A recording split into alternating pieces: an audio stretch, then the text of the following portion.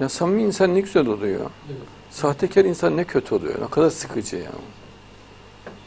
Ne olur dürüst yaşasa insanlar ben anlamıyorum yani. Çünkü dürüstlük rahat ediyor insan. Mesela yalan insanı boğar ya. Sıkar insanı. Yani mesela intikam, samimiyetsizlik falan. İnsan zayıf zaten öyle bir şey sen yükledi mi insana perişan olursun. Her yerin kasılır.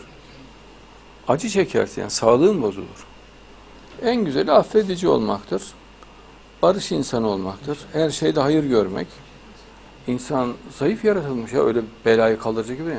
Ona kin duyuyor, bundan uğraşıyor, ona bağırıyor, ona entrika hazırlıyor. Yani plan hazırlıyor, üçkağıtçılık hazırlıyor, teşkilat kuruyor. Ya zaten ufacık bir naif bedenin var. Bu kadar azabı, bu kadar pisliği o beden nasıl kaldırırsın? Ve bayağı temiz ol ya, dürüst ol, samimi ol. Samimiyet mesela müthiş bir ferahlıktır. İnsanı güzelleştirir samimiyet. Sevgi insanı güzelleştirir. Samimi olan sevgiyi bilir. Samimi olmayan çok sahtekar olur ya, çok kötü olur. Allah, Cenab-ı Allah, şeytan Allah'ın ancak samimi olan kullar kurtulur diyor. Samimiyet. Yani samimiyeti yeterli görüyor Allah. Samimi olma her şeyde iyi davranıyor, her şeyde güzel davranıyor. Ya biz samimiyetsiz gördük gördüğümüzde hemen işimizde bir iticilik duygusu hissediyoruz. Beğenmiyoruz yani. Bize soğuk kötü geliyor. Samimiyet bizi çok ferahlatıyor, rahatlatıyor.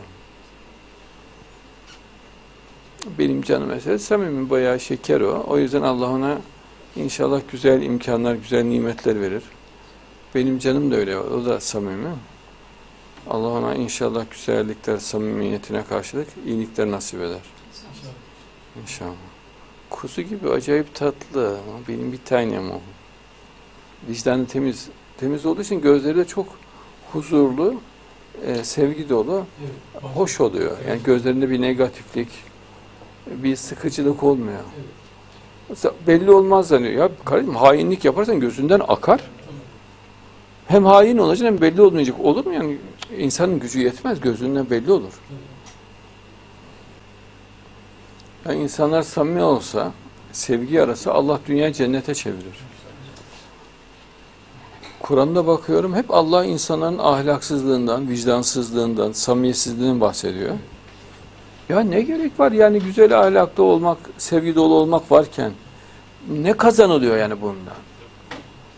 Savaşlar, kavgalar, bomba patlatmalar ya ne kuduruyorsunuz? Koskoca dünyaya herkese yeter bu kadar azmanın, bu kadar sevgisiz olmanın alemine. Yani nefrete niye vakit ayırıyorsun ya? Sevgiye vakit ayır, kafan dinlensin. Niye kendini sıkıyorsun? Suratlar bir karış insanların bakıyorum. Böyle nefret dolu, kavgaya hazır. Ya ne, ne ihtiyaç var? Senin canın yanar zaten bak tansiyonun çıkıyor, şekerin yükseliyor. Buna rağmen kavgayı ve nefreti esas alıyorlar.